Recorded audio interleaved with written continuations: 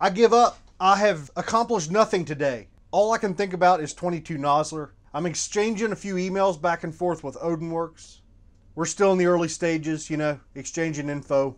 But I can't sit here and do nothing. I've been pacing the house. I've been freaking slamming monster energy drinks, so I'm all jacked up. I want to try what I'm hoping is the least invasive thing that might possibly have a chance of working. I pulled out my gun and I grabbed some JB bore paste. Yeah, like this stuff. It's a little bit abrasive. Maybe it's more abrasive than I thought, or, or I think, and maybe I've already ruined my gun and we just don't know it yet. I don't know.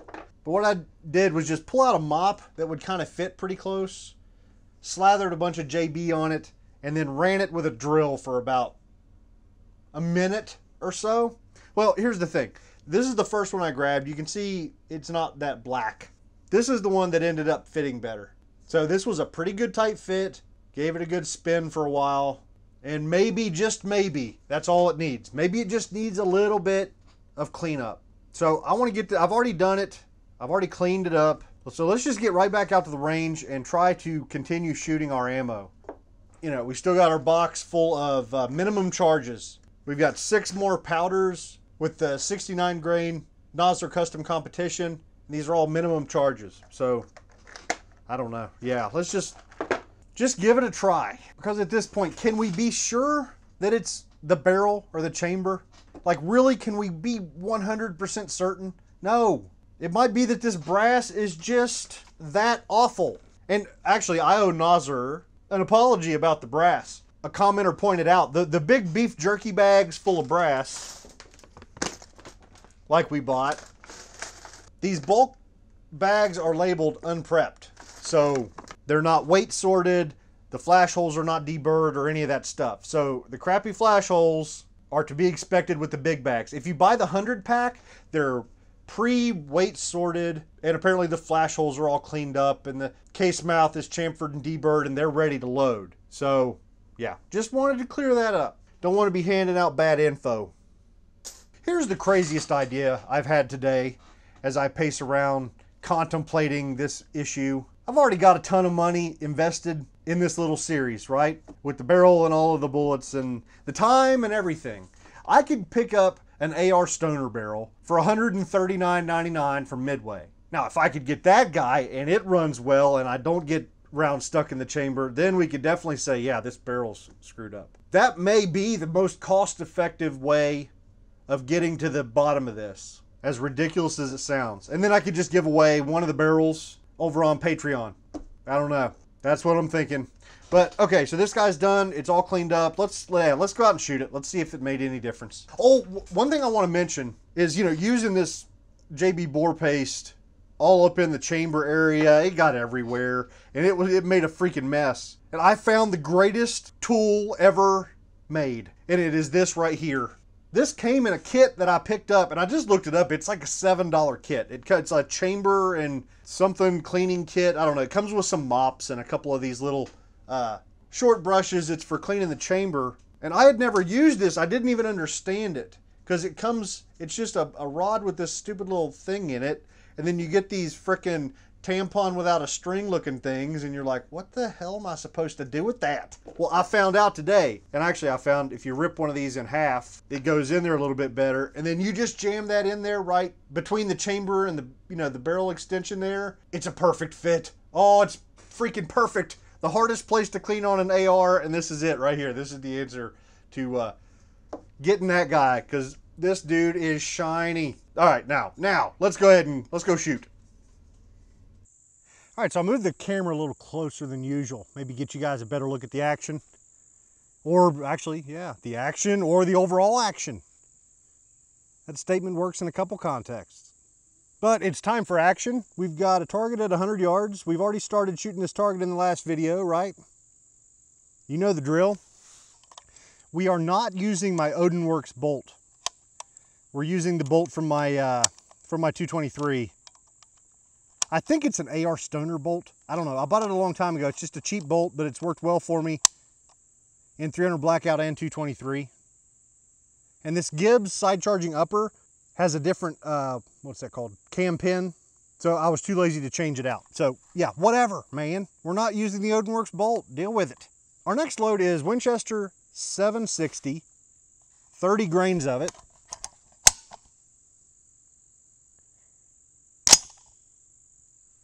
So let's see if anything has changed. Tell you another thing that uh, another commenter brought up, or might have been the same commenter, brought up that he was still seeing some gas. So I, I've got the adjustable or the tunable gas block turned all the way off, but there does still, there's a little bit of gas that gets through. I've still got it shut off, but I think I want to go ahead and tune it back up to where it ejects. We'll, we'll tune it for bolt lock back. Because for one thing, whether the gas system pulls it out or if I beat it out with a 2x4, the brass is getting mangled anyway, so it doesn't really matter. Might as well just turn it back on. And it makes talking to customer support a whole lot easier because trying to explain what's going on here with the gas shut off is difficult. So let's, yeah, let's get shooting.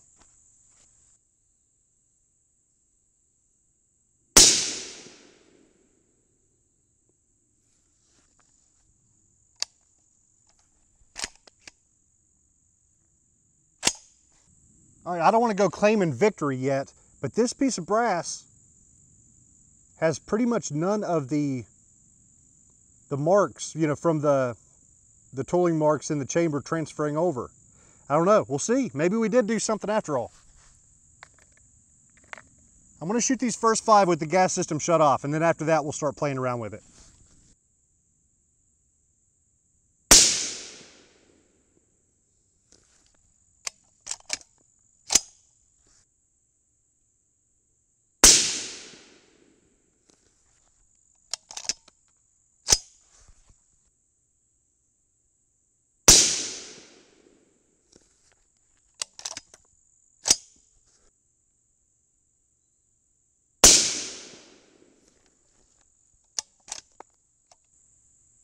Okay, these guys all ejected very nicely. Beautiful. Okay, next is Accurate 2520, 26.5 grains of Accurate 2520. I've gone out a half turn on the gas block and we're gonna single load these guys and we'll keep going out a half turn until we get bolt lock back. You follow what's going on, don't you?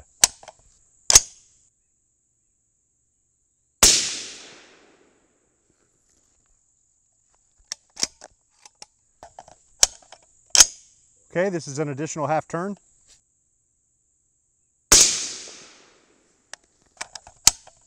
Okay, an additional half turn. Okay, that one locked back. So this one, I went back down a quarter turn.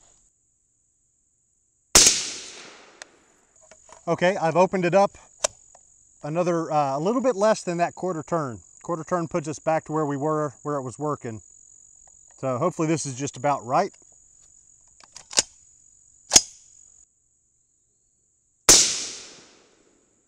Okay, next up is CFE 223, 28.0 grains. I'm starting to think we might have a good functioning gun on our hands now. I don't want to celebrate too soon, but those 10 pieces of brass are all fine. So let's keep moving forward. 28.0 grains.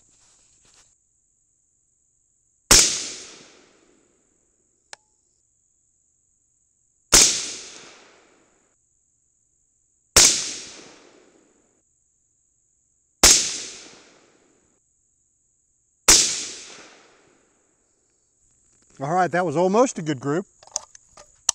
Okay, next is one I've been looking forward to. Reloader 15, 27.0 grains. I got a feeling this is going to shoot a good group.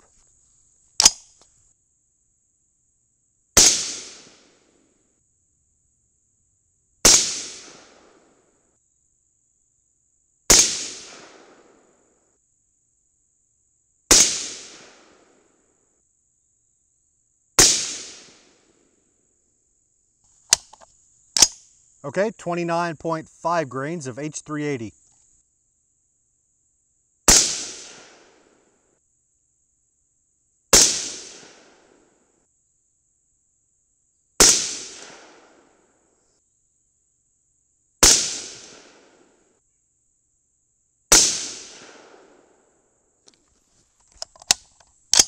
Last up, 28.5 grains of BLC2.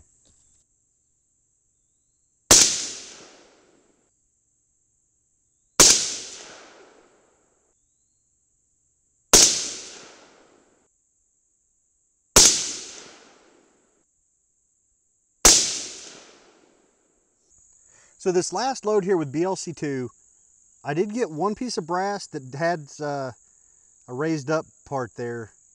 Yeah, been get, getting an you know ejector mark, a bit of a smear there. But it is definitely better than it was.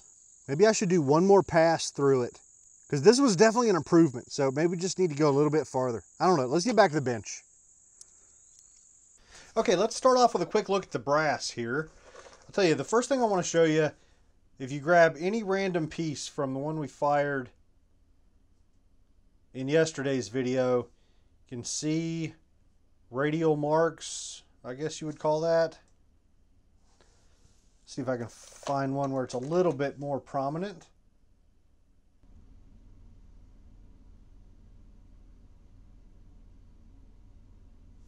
So now, if we go to today's brass, which let's see, what was it? The first one we shot was Winchester 760, which was the fifth row.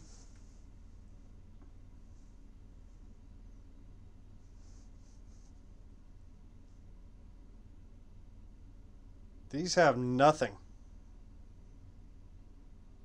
Like all of that impression from the tooling marks inside the chamber are gone after our little polishing job.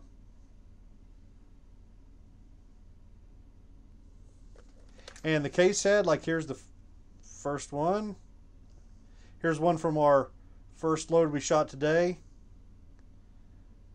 No problems at all. And that continued for several rows, but then uh, the last couple rows, we got the velocity up a little bit up into the upper 2700s and started picking up a little bit of something. That one's fine. There you go. Just a little bit. Yeah, just a little bit of a smear mark there where the ejector hole world's better than yesterday, right? I mean, this is uh, this is something we can work with. Just a little touch of smearing. This is by far our worst case from today. It really raised up quite a burr there. And the other side shows a little bit of mark bit of bending there on that side as well. So that that's pretty bad. I mean, that's definitely still pretty bad. But here's another one out of that row. There you go, a little bit more distinct smearing. But nothing terrible. You know, our, our case heads aren't, our rims are not damaged. So as long as we're not damaging the brass, we can work with the little problems. I mean, this is minimum charge brass, though, so that's you know something to keep in mind. But yeah, we're in better shape than we were yesterday.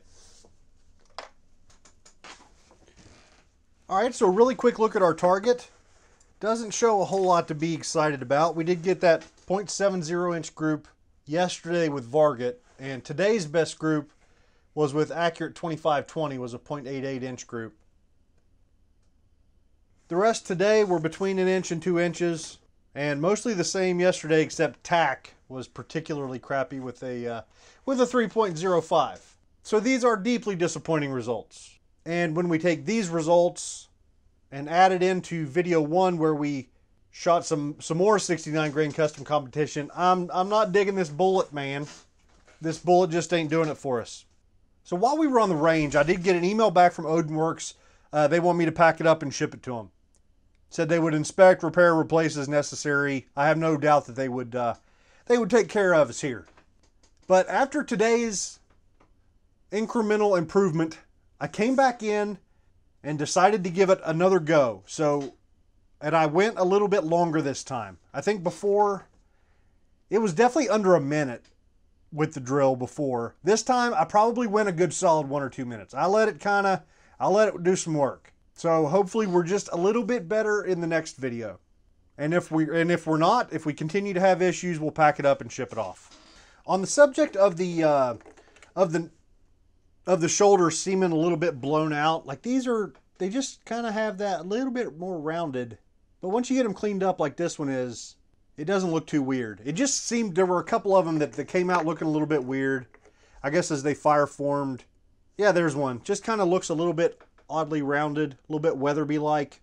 But I think once you po polish them up and get a better look, it's not so bad. And looking with the uh, Hornady case comparator, let me throw this back guy back on here.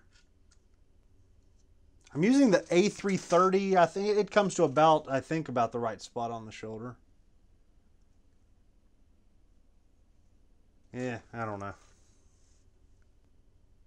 Looks like 1.448 is what I'm seeing. Let me check a couple of these to verify that.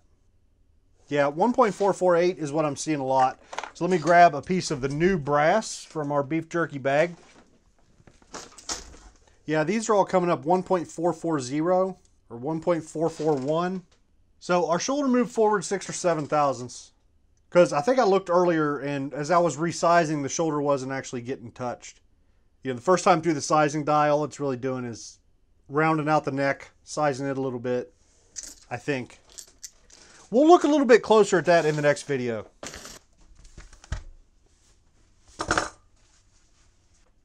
All right, so as I mentioned, the 69 grain custom competition has been nothing but disappointment. Our function issues with the sticky chamber have been nothing but disappointment. We need something really good to happen here. We need to turn this series around. So we're going to call in the services of the 69 grain Sierra Match King. This is my favorite bullet. And that's what we're going to shoot tomorrow. We're going to come right back at it. We are going to freaking shoot some freaking tiny fantastic, sweet groups. You're not even going to believe it. You're going to want to buy a 22 Nosler after tomorrow's video. We are going to shoot Varget because Varget shot our best group with the custom competition. This 0.70 inch group, it had an outstanding standard deviation number of 6.4. So it was burning well, giving us consistent velocities and shooting a good group. So I think we pair this guy with the Match King, and the groups are only going to get smaller. The other powder I want to shoot is Vihtavuori N140. This is not on Nosler's load data, so I'm kind of going to be on my own here. So I've got to do a little bit of research. So that, that's what's coming next. That, that's tomorrow's video. 69 grain Match King with Varget at N140.